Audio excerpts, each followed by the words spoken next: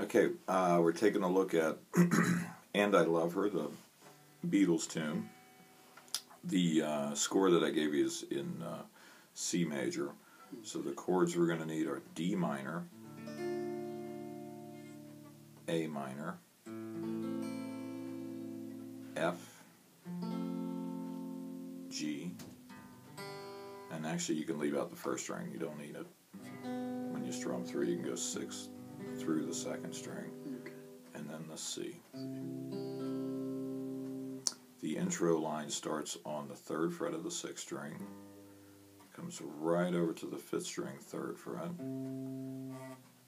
second fret, fifth string, and then the open fifth string.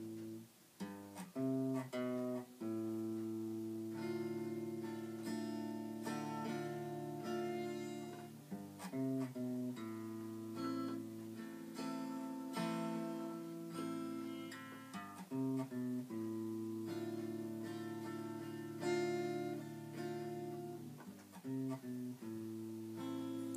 what I'm going to do on the first beat of the measure before the melody, I'm going to strum the chord and then follow with the melody and then fill the uh, okay. harmony back in.